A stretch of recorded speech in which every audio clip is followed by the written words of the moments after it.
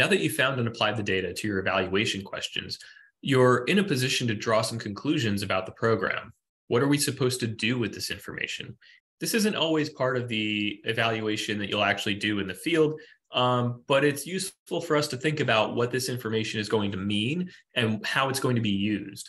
So uh, we found that our output measure for our school lunch example falls within the neutral range. Um, and I can make some recommendations based on that knowledge.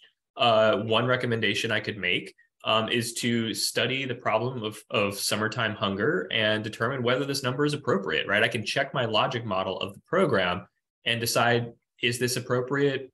Is something wrong? Another recommendation I can make is determine whether the program's budget can support more students, more participants. And another recommendation, if if I've completed recommendations one and two, um, and they indicate that our program is experiencing under participation. There aren't enough students actually signing up for it. Um, we could investigate, right? We can recommend investigating why more students and families don't sign up. Is it that we're not marketing the program effectively to uh, potential participants?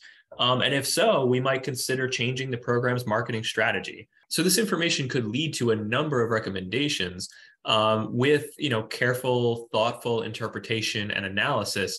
Um, we might be able to use this data to actually improve the programs that we're evaluating.